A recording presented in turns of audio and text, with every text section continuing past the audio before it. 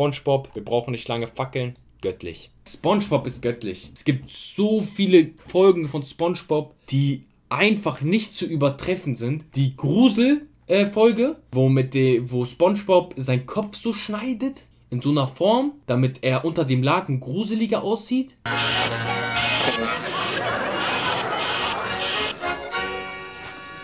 Und was sagst du? Perfekt. Die Folge, wo Thaddeus ähm, hinten ganz viele Krabbenburger äh, gefunden hat und dann fett geworden ist, weil er alle Krabbenburger gegessen hat. Was machst du hier?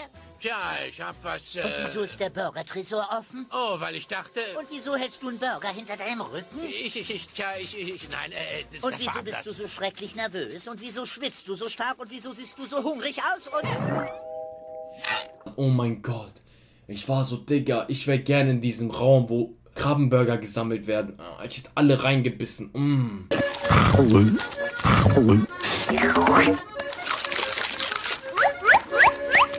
In die Schenkel?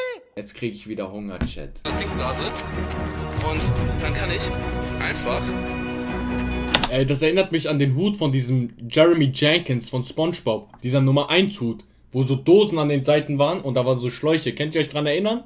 Eine Million Dollar. Ich hab eine Million Dollar.